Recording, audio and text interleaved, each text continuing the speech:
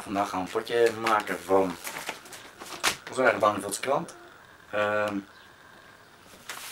gebruiken we nog meer daarvoor. Een blikje. En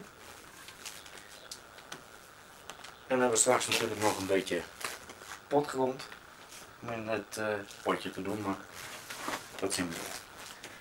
Eh, in het begin de krant in enkele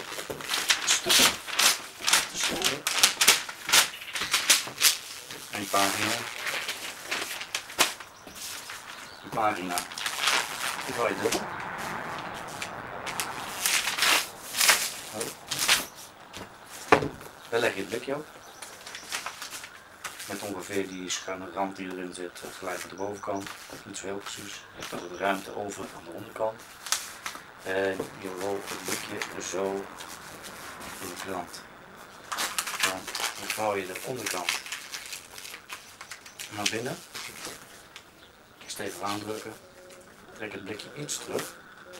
En dan vouw je nog net iets verder. Iets stevig binnen.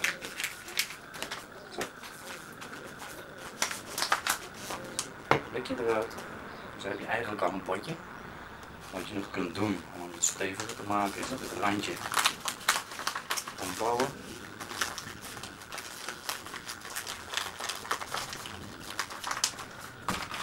Prachtig. Beetje potlood erbij.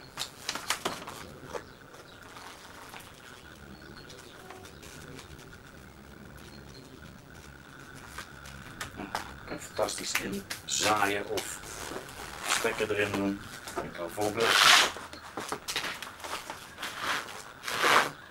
Je kunt ze rust water geven, ze blijven nog vrij stevig. En het voordeel daarvan is dat je ze straks uh, met krant en al de grond in kan zetten. Dat verteert mooi. En je ziet ze niet terug, het is niet moeilijk te doen om ze eruit te halen. Fantastische goedkope oplossing, een hele goede hergebruik van je Barneveldse krant.